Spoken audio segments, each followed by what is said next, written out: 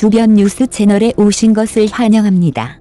오늘의 가장 뜨거운 뉴스를 놓치지 않으려면 채널을 구독하십시오. 오늘 뉴스레터에는 다음 뉴스가 포함됩니다. 그 시절 우리가 좋아한 첫사랑 아이콘, 배우 명세빈이 라디오 스타에 첫 출격한다.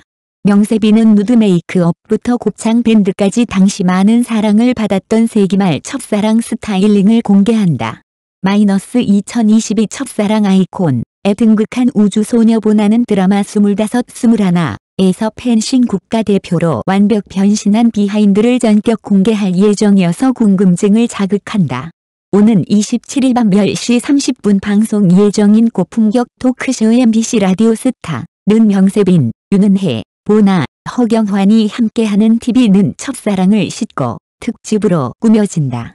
명세빈은 과거 한컵 BCF에서 저 이번에 내려요 라는 한마디를 남기며 세기말 남성들을 심쿵하게 만들었다.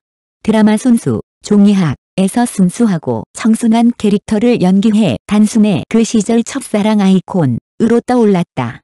라디오 스타 앱 첫 출연한 명세빈은 국민 첫사랑의 아이콘 계보를 짚어보며 그 시절 추억을 소환하는 에피소드를 공개한다.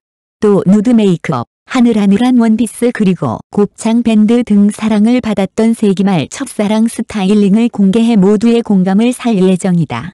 명세빈은 청순한 이미지 때문에 심지어 이것까지 해야 했다고 고백해 3억을 술렁이게 했다고 해. 그 내용은 무엇일지 호기심을 유발한다. 이어 그는 실제 성격은 이미지와 다르다며 촬영장에서 강심장 면모를 자랑한 반전 매력을 공개해 시선을 강탈할 예정이다. 걸그룹 우주소녀보나는 드라마 25, 21에서 펜싱 국가대표 고유림을 연기, 마이너스 2022 국민 첫사랑으로 등극했다. 3년 만에 라디오 스타에 재출격한 보나는 요즘 인기를 실감하느냐는 질문에 바로 이럴 때 라고 콕 짚어 뜨거운 반응을 느끼는 순간을 설명한다. 보나는 25, 21, 앱 캐스팅 되자마자 펜싱 훈련에 돌입했다며 국가대표 펜싱 선수 고유림으로 변신하기 위해 노력했던 과정을 전격 공개한다.